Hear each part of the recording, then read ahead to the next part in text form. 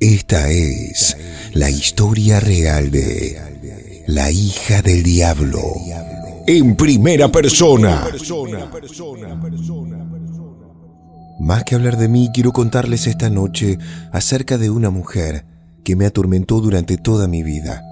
Soy de Buenos Aires. Esta es mi historia. Yo la conocí cuando era mi vecina. Ella era una chica rubiecita, de rulos, yo medio gordito, pero ambos congeniamos rápido. Teníamos seis años. Íbamos a colegios distintos, pero siempre que podíamos nos juntábamos a jugar. Ella vivía en la planta baja, yo en el tercer piso. Por supuesto que todo era muy inocente, pero ella se prendía a todo tipo de juegos, aunque algunos involucraran cosas como correrse con pistolas.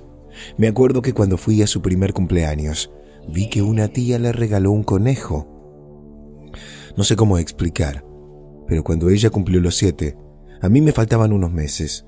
Yo la noté distinta, como si tuviese otra mirada. Pronto iba a darme cuenta el por qué. Días más tarde, yo fui a golpear su puerta. Me atendió su padre. Yo la oí llorar desde adentro. Él me dijo, Mi hija está castigada porque dejó que se escapara el conejo. Volví a mi casa. Encontré a mis padres al teléfono. Era obvio que estaban hablando con ellos. Mi padre me dijo, Tu amiguita está castigada una semana. Pobre conejo, ojalá parezca. Vos no la viste tratarlo mal, ¿no?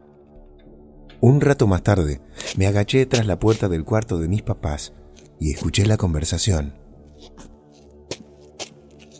Esta nena está mal, pobrecita. Mira que matar a martillazos así un animalito, qué bárbaro. Saber aquello me asustó, pero no dije nada. Yo no quería jugar más con ella, pero le comencé a tener tanto miedo que fui sumiso ante su llamado. No podía rechazarla. Por ejemplo, una vez subimos al quinto piso.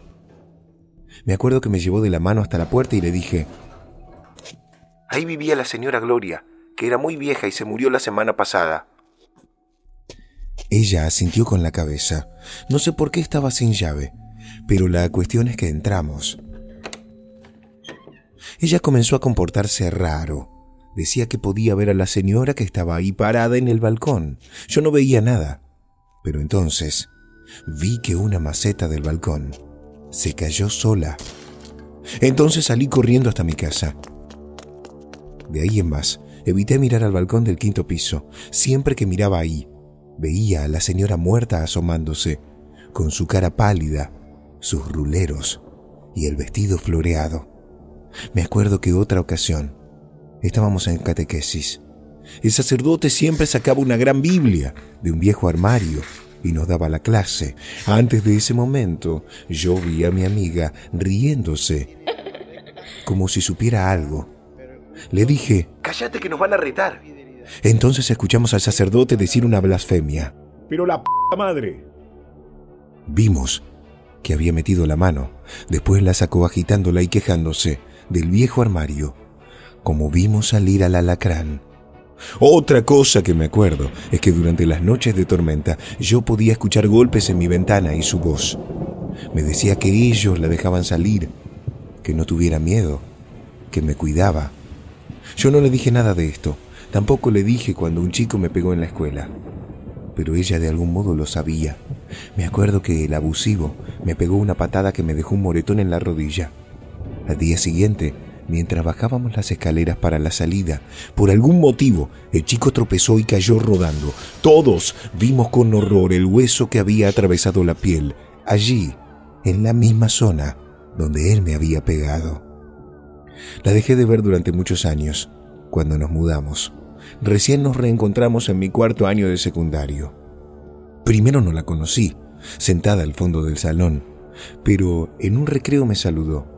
Ya de entrada me dijo algo aterrador, que le costó encontrarme, pero que finalmente lo supo y pidió cambio de colegio.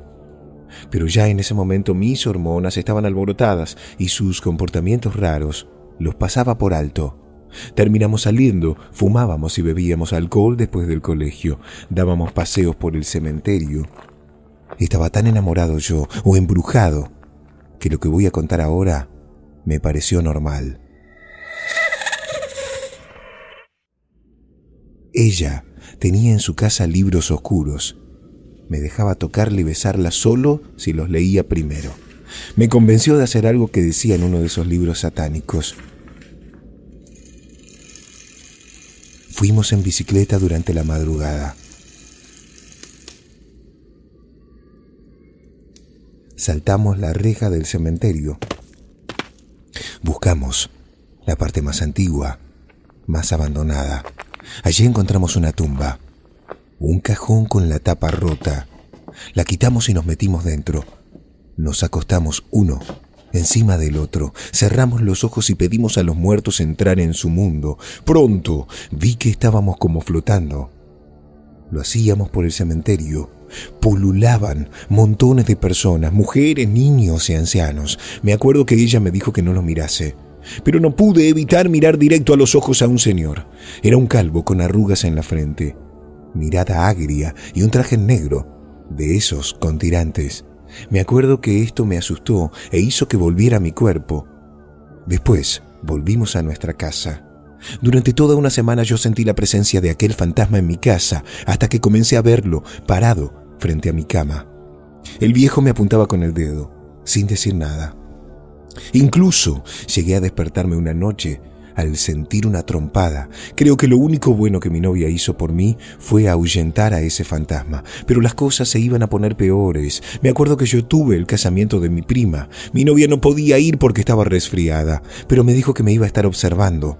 Yo no tenía intenciones de ponerle los cuernos, pero esa noche sí pasó algo. Yo estaba charlando con otra de mis primas y una amiga de ella, en la que ni me había fijado.